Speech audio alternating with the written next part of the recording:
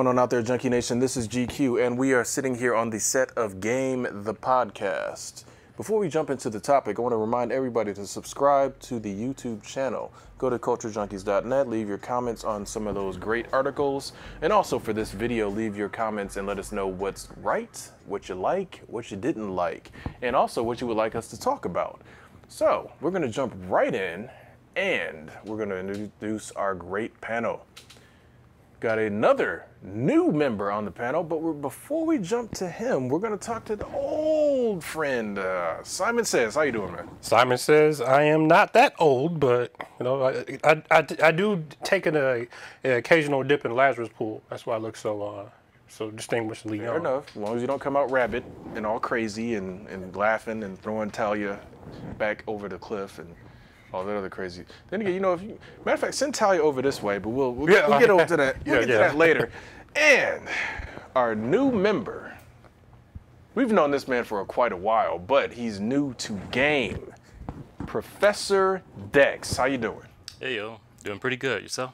I'm doing good, man. Glad to finally have you sitting here in the studio recording, doing game podcasts, because this is awesome. It would have been nice if I'd have started the timer, but that's all right, though. We just spitballing, we letting things go. So, right to the topic. The man himself, we've all grown up watching his movies. None of us are older than the character, thankfully, because I kind of hate to be that old. But James Bond, great character, spy. Ian Fleming's one of his best creations that I can think of.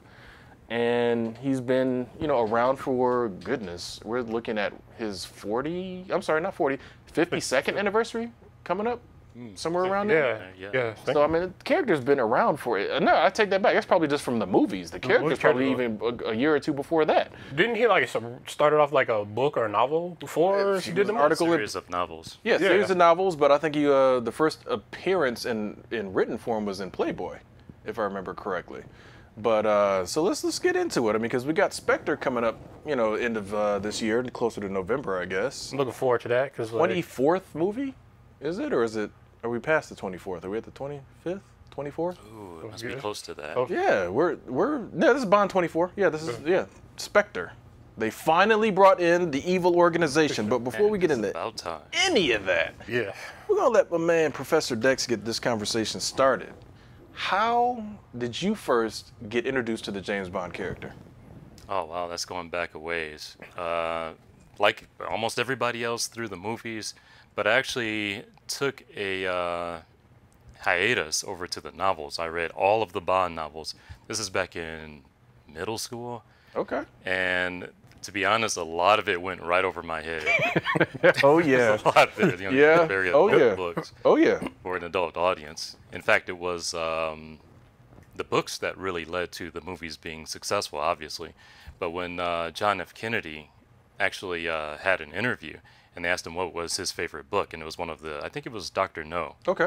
And almost overnight, everybody started running out and oh, grabbing Oh, yeah. these books. John F. Kennedy was an extremely influential guy. I mean, he, I mean, probably going to get crucified for this, but I mean, mm-hmm. Obama, in in some slight ways, has a lot of similarities because he lets himself kind of, you know, do like the Jimmy Kimmel show and stuff like that. That's something that I would kind of imagine John F. Kennedy, being a younger president, you know, would have done as well.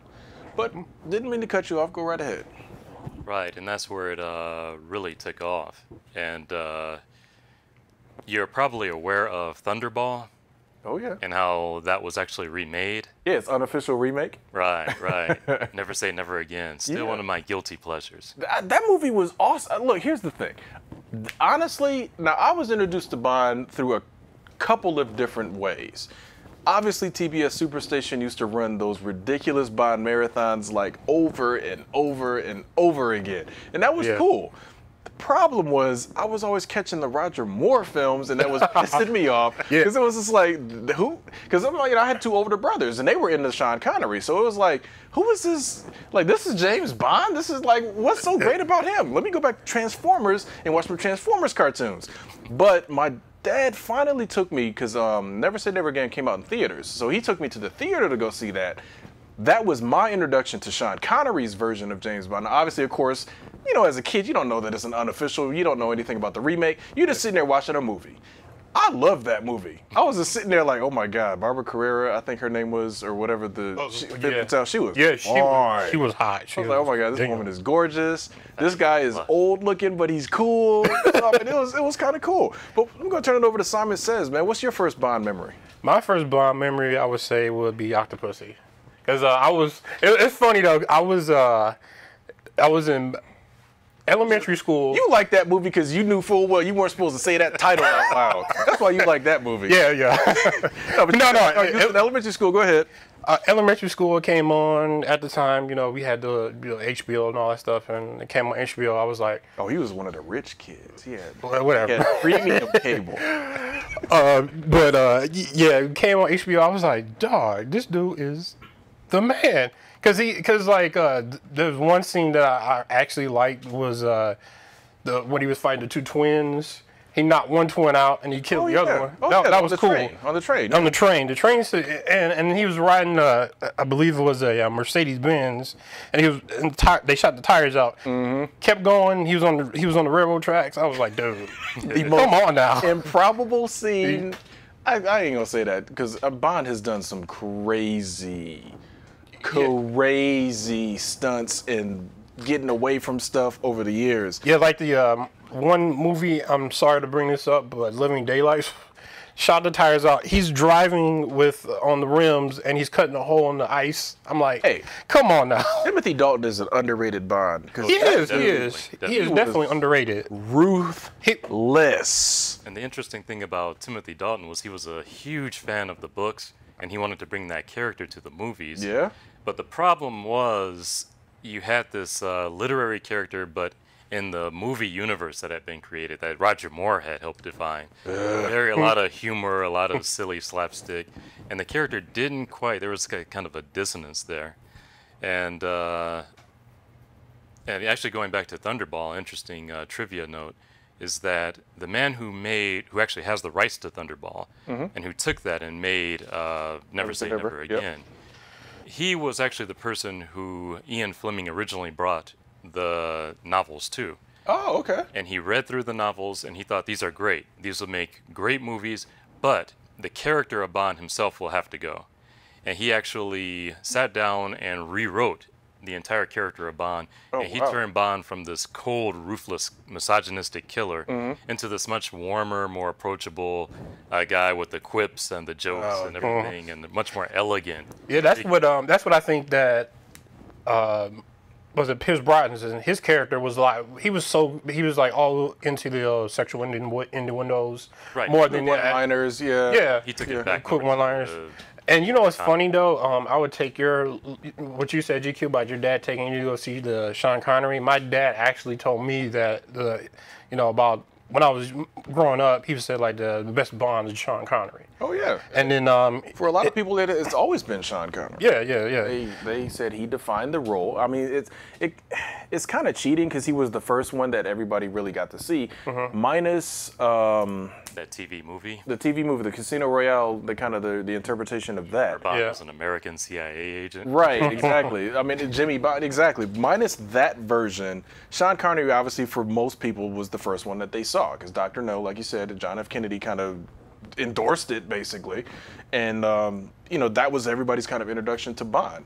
Now, Daniel Craig has been able to kind of bring it closer to where the books were because his Bond is not quite as ruthless as Timothy Dalton's was. But sometimes he seems like he is because he's very bit on the he's very single-minded. It's like the mission, the mission, the mission, and I'm on the is an sensitive side too. An interesting thing that the uh, the producer who rewrote Bond's character said this character won't really work on the screen. And you know he knew his audience at the time. I'm sure he was right. Yeah. But we've actually reached a point now where things have gotten so dark and realistic yeah. that yeah, that character actually does work on the screen. dude, Superman what. destroys cities while fighting. Back in the day, that would have never happened. Yeah. So it's much darker world, much you know darker tone, and people. Uh, it fits right in with the recent trend of reboots like uh, the Batman with the Dark Knight trilogy. Yeah. It's much more in line with that. Yeah, the yeah, it's a it's a much darker audience out there, and it's So- you know. I'm gonna bring up the the actual um, cat or or, or I can't really say it, but the uh, proverbial like uh, whatever you want Elephant to in say. the room. Yeah, Say yeah. Um, Money Penny in the at the, at the last uh, end of uh, Spectre or not Spectre, but um, Skyfall. Skyfall. Yeah. Um, I I was kind of shocked about that. I mean, at the end of the movie, I was like, okay, where is they leading this? Oh my God, that's Money Penny. I, I like, but see, I, I did like that. Did, I like how they did that because they played around with even the thought of bringing her in early in Casino Royale. Because when uh, Eva Green's character uh, Vesper sits down and inter- you know introduces herself, Mm-hmm. she's like, "I'm the money." He's like, "Yeah, every penny of it." So that's Uh-huh. when you first sitting there, you're like. Are they really bringing Money Penny in? Is this like this this, This er- chick that Yeah. you know looking all good, and this is like, oh well, no, okay, they're they're doing this and doing this, and then finally Skyfall comes around, and it's like, wow, we actually get some of her backstory. This is, Yeah. this is pretty cool. and then um, that's the same reveal thing. on that, I only guessed who she was because they, they specifically did not say her name.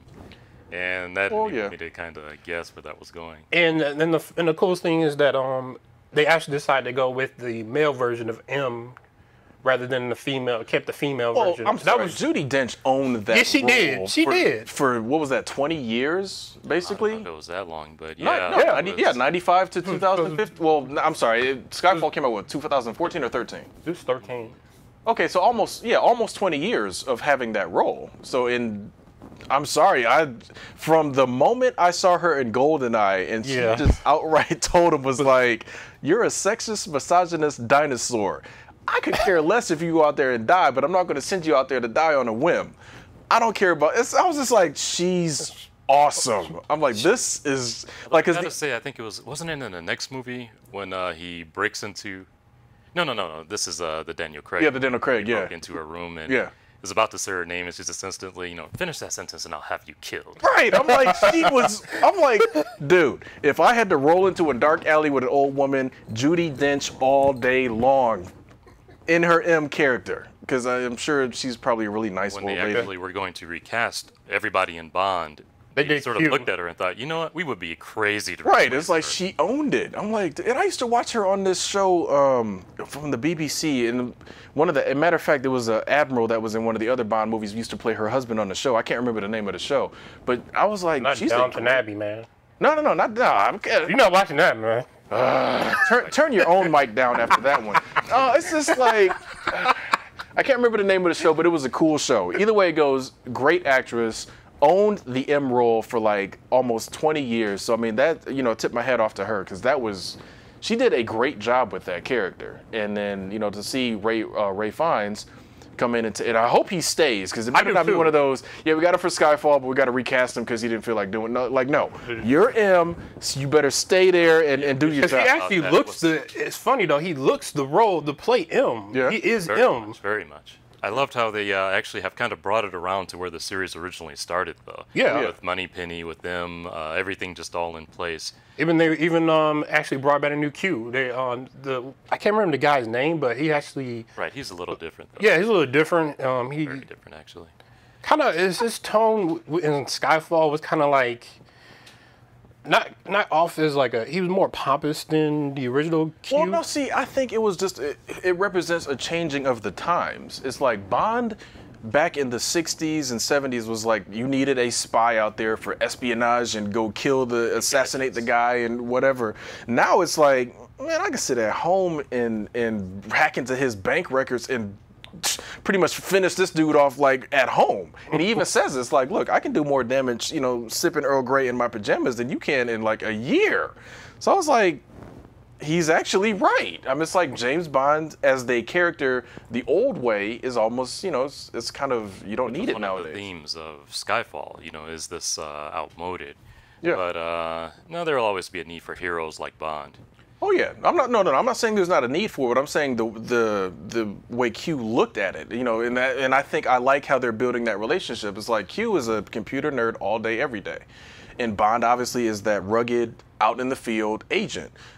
I like having the opportunity since, since it's such a young guy playing Q, to you know really see that it's like you know what, um, I don't really get you. But, you know, so now you can build that relationship between the two of them. Right, It's like, look, right. we're not, we're not, Yeah, we're not exploding friends. Pins. Yeah, it was like we're not exploding pins and crocodile Yeah. suit things anymore. You know, and There's a bit of jetpacks. Yeah. Right. So I, I thought that was pretty cool. And again, I know he retired, but I still wanted the old guy at Skyfall Ranch to be Sean Connery. if they could have Yeah, that would they have a been. offered it. Brinks truck, no, they didn't offer it oh, to him didn't? right. They should have grabbed. Ooh, they should have just Yeah. asked Disney for a loan just to get that role for Connery. Uh, Man, could you? im- The theater would have exploded with excitement if Yeah. Sean Connery. You just hear his voice, and he's like, "Oh, you decided to come back to the match." That would have been freaking awesome. Just to have. I I agree with you because uh, I think it was like me, you, and um, Kenshiro went down to go see it. Oh, yeah. And I, I think if if that would have happened, I would have the, the, pissed dude, my pants. the crowd would have been it, it- the theater would have been on their feet. Heck yeah. That would have been if they could have. J- ooh, Sean, we know you said you retired. We know it was about five years ago you retired. Here's a quarter of a billion dollars. Just come back for two days' work. That's all we need. Two days' work, and and, and we're good. Man, that movie would have made twice what Avengers made if that if it was just had that cameo. That would have been awesome. Now, So- what about uh, Christoph Waltz? I think is in the new one. Who is wait now? Hold on. Who is he playing? Because I I, Yeah. I haven't been paying a ton of attention to Spectre because I don't like being The- spoiled on The movies. speculation is that he will be playing Ernst Stavro Blofeld. I could see that. That is awesome. And I Oh, think um, Bautista's the in. Uh, Star Trek con thing. They're kind of denying it because they oh. want everyone to be surprised, but everyone kind of Everybody knows. kind of knows. It's like really, you got him, uh, German dude. He play, yeah, I'm pretty sure he's probably playing a German dude. Yeah. So yeah, that, that, that makes sense. I, I like that. Uh, I don't know. Batista better be in this. Well, no. You know what? he's the, he's supposed to be like I, I'm from I'm assuming he might be his right hand. Yeah. I can deal with that Odd because character. You know what? I gotta give Bautista his credit. I mean, was he boring as hell in Man of the Iron Fist? Yes. Yes, but so was everybody else in that movie. Was he awesome in Guardians of the Galaxy? Yes, because he played Drax just so cool. It was Like himself. like He played right, himself. exactly. It's like you could see him saying half of the stuff that Drax says. And so that was, that was pretty cool. So I mean, we're running a little bit low on time. I The thing know. Spectre though is that uh, it's just interesting to me how uh, they're actually reinventing part of Bond's history. That uh, Blofeld this time is going to be a figure from Bond's past. which I think is pretty cool. I do like that aspect where, like you said, it's not just going to be this super evil organization because that's kind of old hat. I mean, it's like It you really can't. is. I kind of. Well, we're at the time, I guess, where it's just no longer that this can just be his job. You know, he just goes out and does this. Right. Now, it's the same thing what they did with Batman. Well, the Joker was the one who killed his parents. It has to be personal now. Yeah, it, it it works sometimes, but sometimes it's just one of those weird. It's like, why'd you do that type of mm-hmm. things. So I mean, again, we're gonna obviously all be in the theater, sitting there watching it at the same time. So we'll all get to you know experience it at the same time. But I'm hoping that it's not just something that they just you know threw it in there for the sake of throwing it in there. It, it better have some cool, deep rooted. You know, oh wow, that's pretty neat. Okay, cool. It- Right, exactly. It's like you know, this is the guy that used to babysit you back when you was in diapers. You know, uh, you know, if it's something like that, I'll be kind of mad. Martinis out of a bottle. Right, exactly. if it's something th- like goofy like that, then I'll be like, uh, whatever. But if it's like, you know, you find out maybe he's the guy that, you know, Bond's parents died in that quote unquote climbing accident because of him.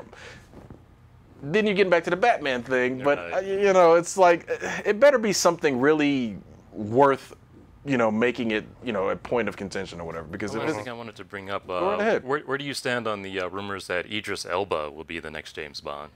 I have no problem with that. I don't either. It's the rest of the well, no, I take that back. Not even so much the rest of the world. world. It's the rest of Middle America Right. that probably well, has the biggest problem yeah. with that. Because Idris in on that show Luther, you know, He was great. He's a great. He plays the character really well. He's obviously has the accent because he's from England. So it's like I have no real problem with him doing it now. Where I do kind of have an issue is kind of the same issue with um, with Pierce. It's like he's a little bit too old now. Yeah, maybe. It's it, that's kind of the only got the- problem I have. Because He's, like you got the gray, gray, gray beard going on. The right, and, ghost and beard. that, I mean, like, look what happened with Denzel. You took one bad picture, and it's like you're all over the internet. You know, and people and like nobody noticed. Denzel was almost ageless until that photo came around. So I mean, there's with black actors, there's not a lot of black actors that have that kind of sex appeal, charisma, smoothness about them that are in their you know mid to late 30s. It, there just aren't. You know, I'm sorry, I don't want to dog the guy, but Anthony Mackie is not going to be James Bond. Chadwick Boseman is not going to be James Bond. You know what I'm saying? It's like those guys just they're, they don't, they don't have it. Your old guard was Denzel and Idris, basically, and unfortunately for the Bond character, especially the way Daniel Craig has kind of not so much redefined him, but the way Daniel Craig plays him, mm. that's what people are going to expect now. That r- chase you and beat you down and you know kill you like you know hand to hand or whatever it takes. I don't really see a 50 plus year old Idris doing that. By the time they're ready to, you know, start shooting with him, because who knows if Spectre does outstanding, they're probably going to be throwing a bucket load of money at Craig to probably stay on for another one or two. No doubt. No And doubt. then you know now you're looking at a 55 year old Idris Elba who doesn't want to be in Marvel movies. I don't think anymore. But that's a rumor. All right, guys. Last thoughts, real quick. What is your favorite Bond movie? Simon says, go. Simon says uh, my favorite Bond movie is. I'm gonna, st- I'm gonna still say Octopussy. That was my favorite. That was my first one. You just like saying the word. I do. I do. All right, and Professor Dex, favorite Bond movie? Real quick, man. What is it? Probably GoldenEye, actually. Toss up between GoldenEye and Casino Royale. The, the obviously the not the remake, but you know Yeah, the the- Daniel Craig the version. one, yeah. yeah. Okay, fair enough. And you guys will just have to wait and see what my favorite one is, because it might be coming up on a future episode of Game. You but know what? Um, just on a quick note, okay. Um, I will be doing a uh, top five James Bond um, theme music. Uh oh. So that will be coming soon, ladies and gentlemen. So Very cool. look, look out for that. Oh yeah, very Out for cool. Look at it. Simon says with the cheap John pop, Barry plucking himself. That's all right. So for Simon says for the new member, Professor Dex. This is GQ. Make sure you like, subscribe, comment. Let us know what your favorite James Bond movie was, favorite James Bond moment, favorite James Bond girl. Because you know full well there's been over 24 of Yeah, them. You really. got a lot to pick from. So, and eh, except, real quick trivia note Maud Adams, I believe her name was, played a Bond girl twice. She was in Man with the Golden Gun, and she was also in Octopussy. Yep, Simon I knew says his favorite movie. Yep. So, we're gonna leave you guys with that, marinate on that for a little while, then put it on the grill. But this is GQ. This is the end of this podcast. Make sure you subscribe. Come back every week for more game. Game over. Culture Junkies!